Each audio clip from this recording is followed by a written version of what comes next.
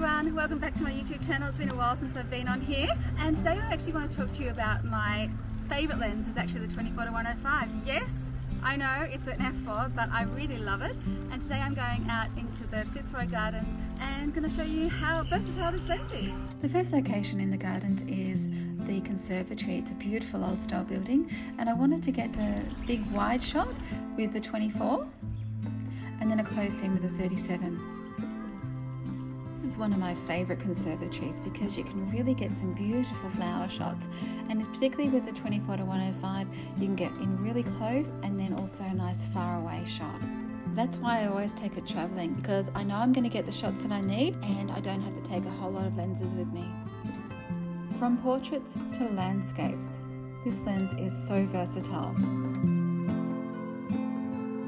Took a shot on the 85 focal length. It still has a beautiful bokeh and even at 105 it's absolutely amazing. It's the most underrated lens. Definitely give it a go and uh, subscribe to my YouTube channel. Bye!